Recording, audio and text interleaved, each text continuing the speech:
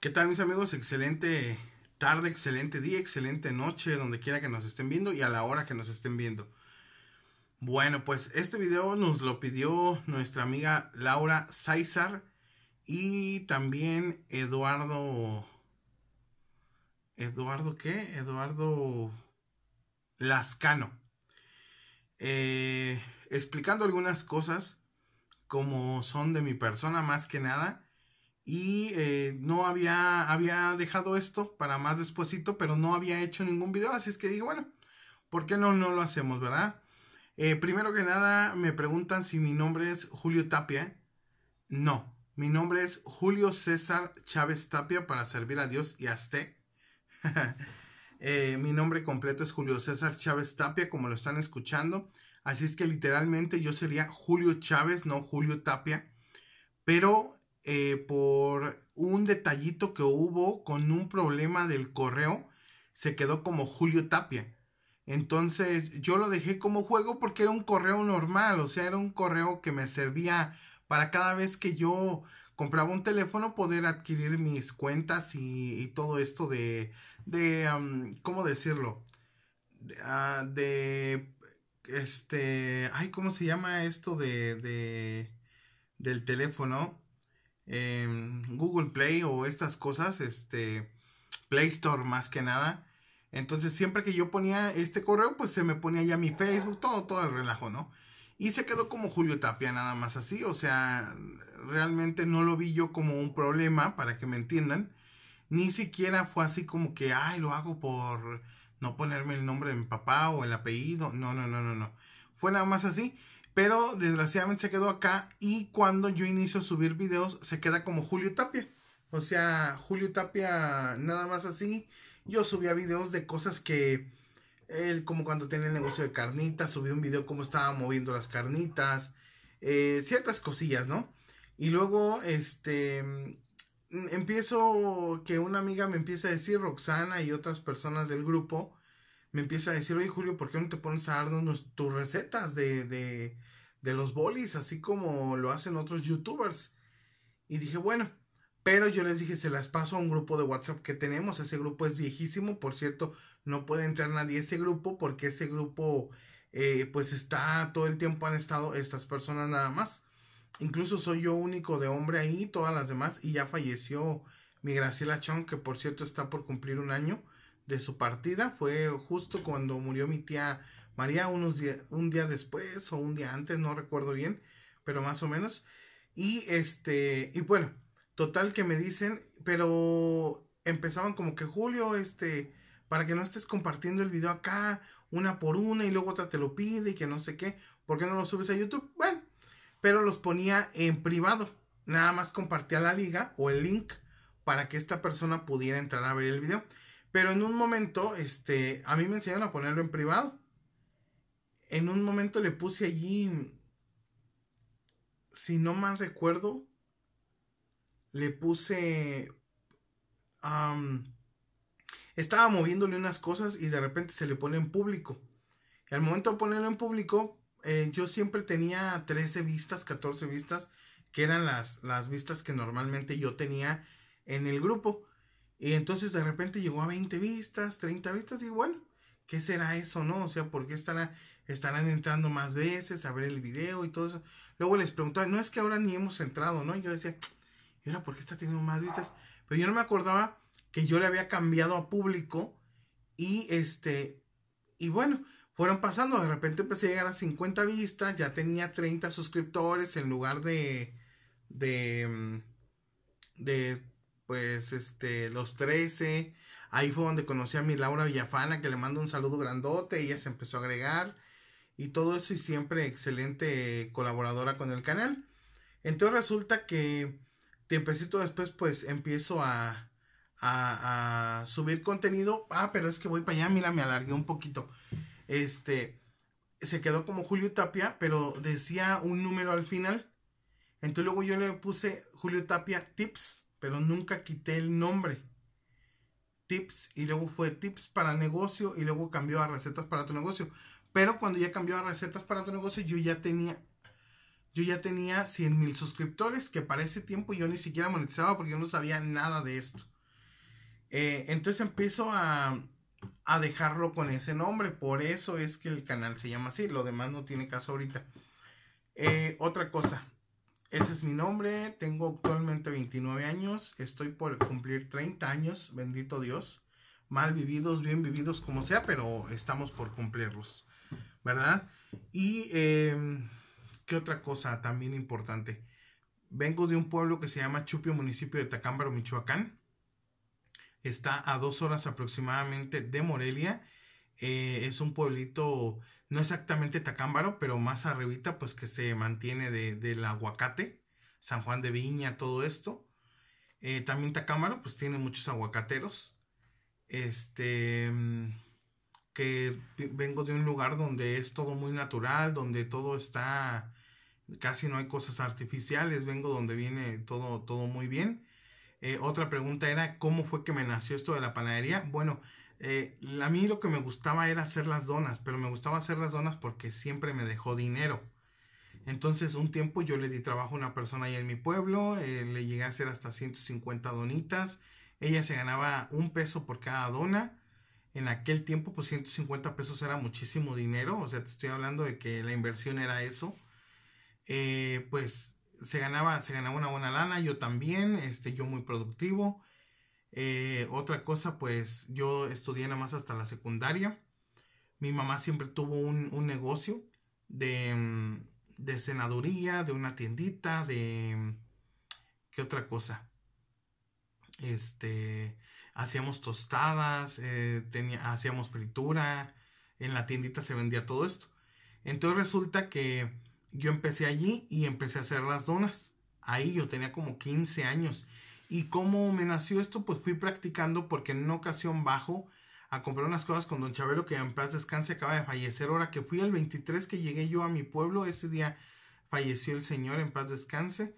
Este falleció por esto que está viendo en el mundo y lamentablemente pues fue algo muy rápido, ¿verdad? Este, luego ya después, eh, bueno, yo bajo y un día estaba yo formado porque tenía mucha gente, benditos tiempos aquel donde se ponía uno formal y todo el relajo y no pasaba nada.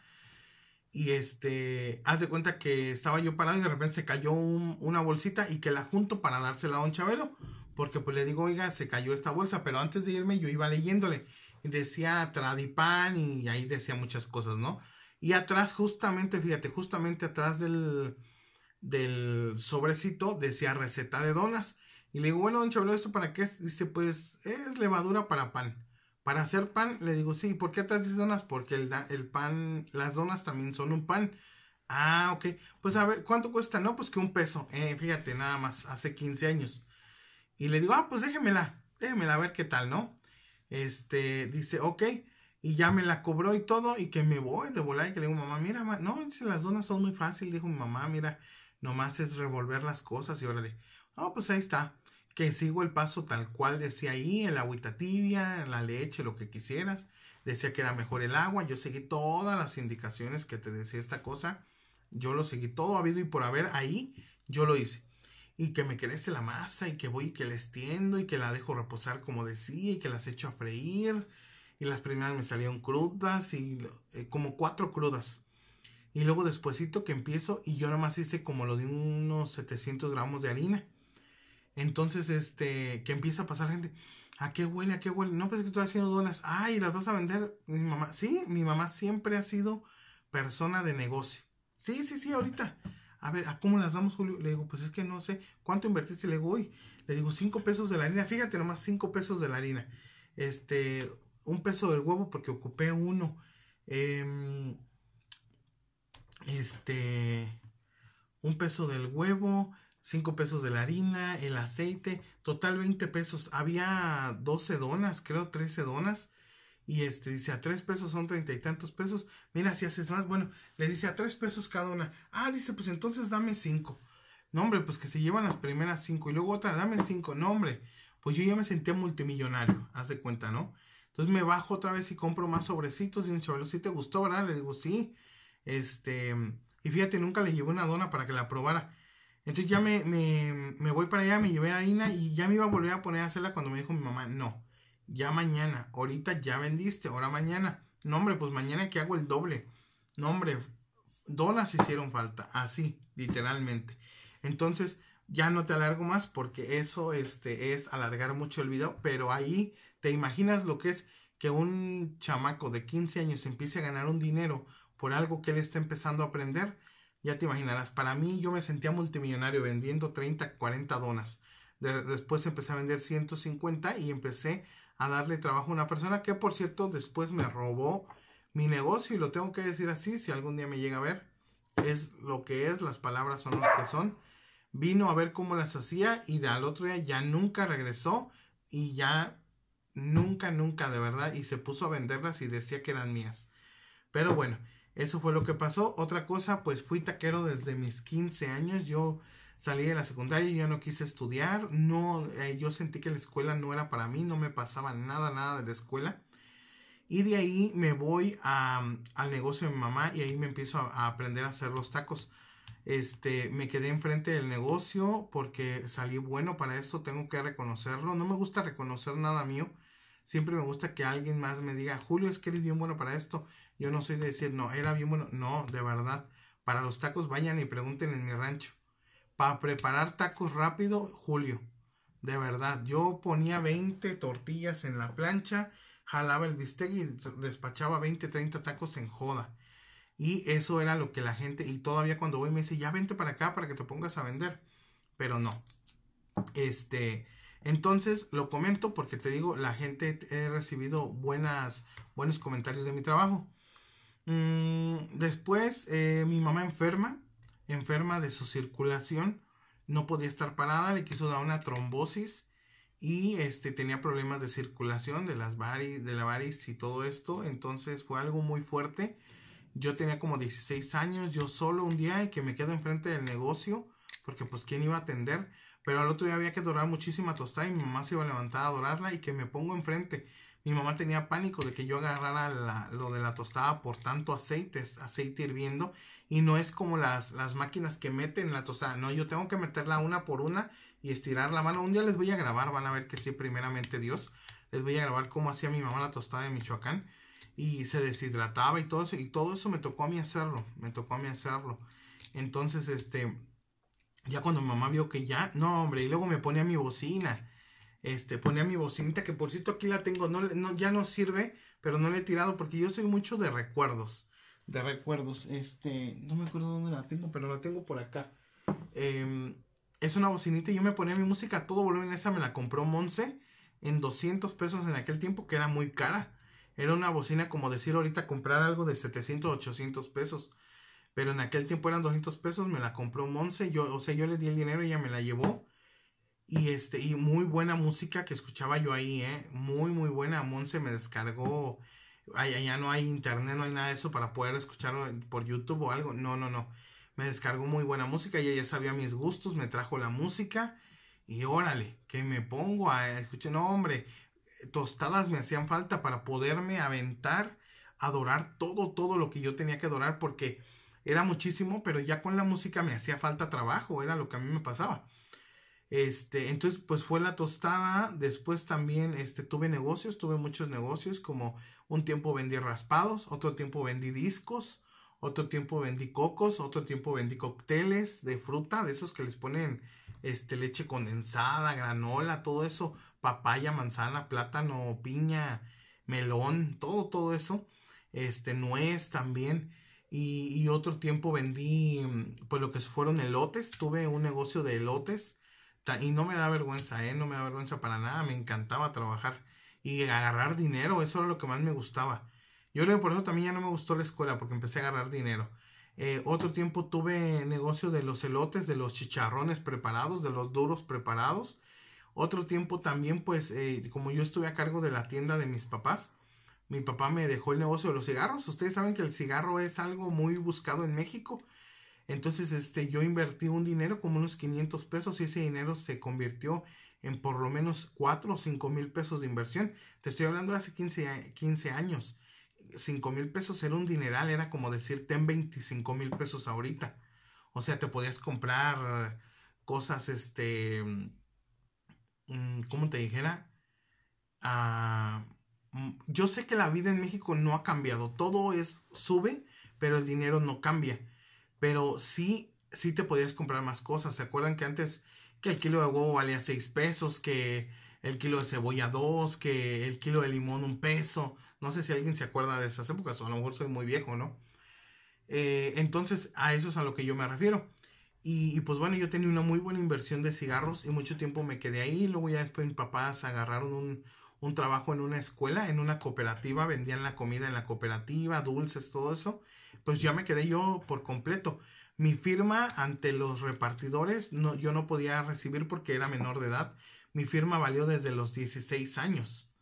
Entonces, muy gustoso yo porque toda la gente llegaba y me entregaba todo, me entregaban todo, todo lo que tenía yo que, y yo pagaba dinero y yo firmaba, yo pagaba y yo firmaba.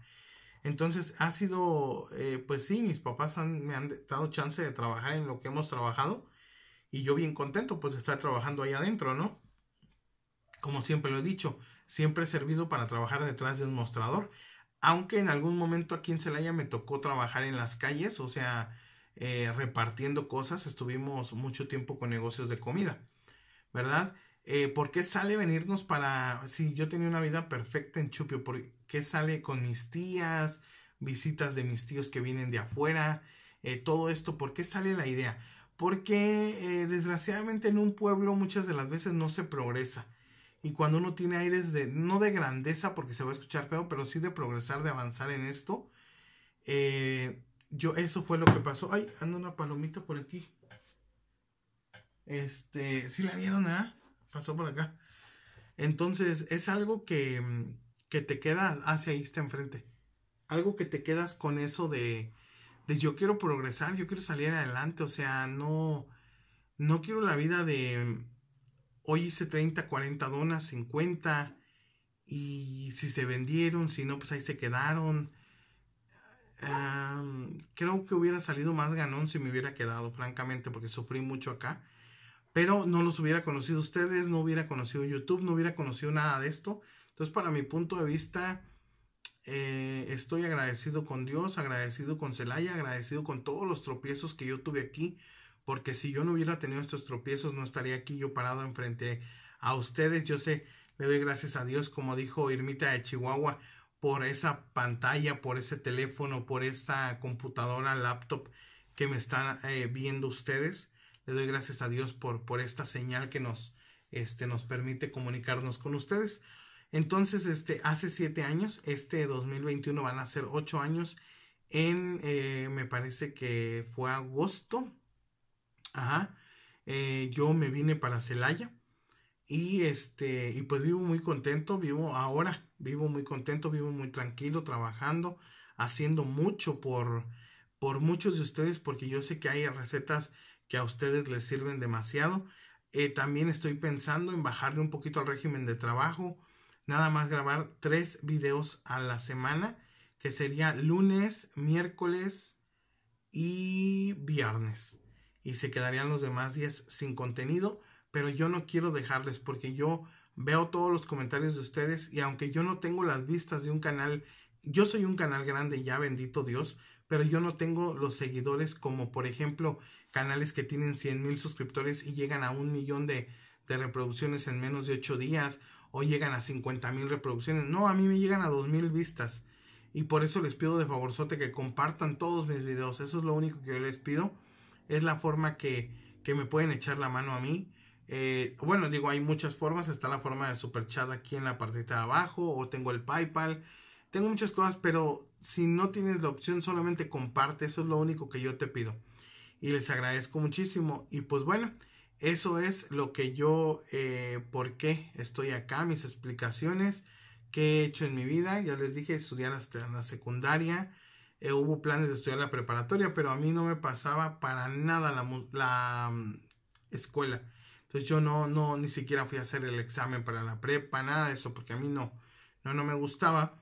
Y si quieren la segunda parte, que, a qué me he dedicado aquí en Celaya, qué he hecho aquí en Celaya, eh, déjenme en los comentarios, yo se los agradezco muchísimo. Sé que muchos no van a ver este video porque van a decir este video no es de receta ni nada, pero sí puede ser de algo alentante, alentante y este de superación, ¿verdad? Eso sí pudiera ser.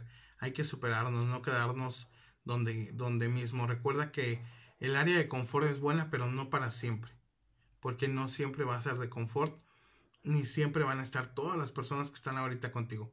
Cuídense mucho, un abrazo grandote. Mi nombre es Julio César Chávez Tapia y este es tu canal Julio Tapia Recetas para tu negocio. Hoy platicando un poquito de mi vida. No te interrumpo nada. Hoy a las 4 de la tarde sigue saliendo tu video de recetas diaria y espero en Dios les agrade la receta del día de hoy. Regálame dedito arriba y comparte este video. Recuerda que hoy se sube los borrachitos estilo panadería. Borrachitos de mezcal. Cuídense. Dedito arriba y échenle muchísimas ganas. Y compártanme para llegar al millón primeramente Dios. Vámonos. Bye bye.